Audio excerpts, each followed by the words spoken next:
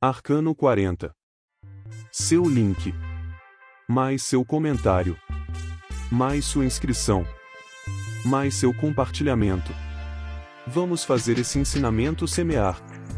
Nossa imensa gratidão, Tarô, Arcano 40, o pressentimento. Elemento, água. Este arcano define o lugar em que estamos localizados frente à ciência e frente a nós, nos indica como, no caminho e em nossa vida, vamos aprendendo e que é apenas natural que tenhamos momentos de insegurança e de tribulação. Este arcano define também o cuidado que devemos ter ao andar, ao falar e, sobretudo, ao agir. Cada um de nós está dotado de sentidos, os quais poucas vezes sabemos manejar, somente com a prudência, com o equilíbrio e a disciplina podemos manejar as circunstâncias da vida.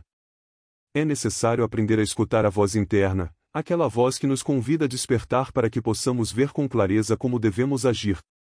O princípio da presciência, como faculdade natural, nos indica: não sejas varão de olhos abertos à cobiça, nem mulher de ouvidos abertos à lisonja.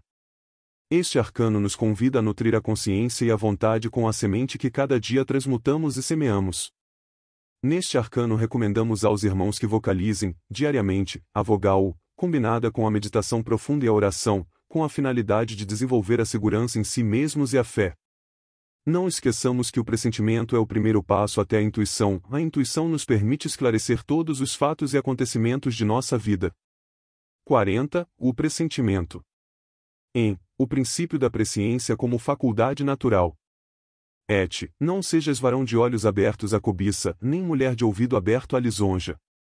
AV, Urano, letra L, número 4. EG, tome seus pressentimentos com pinças, nem todo aflitivo se concreta, sempre há um renovo de esperança. D. Trabalho bem remunerado, simpatia, sedução, reflexão. R. Ameaça de ruína, afetos contrariados.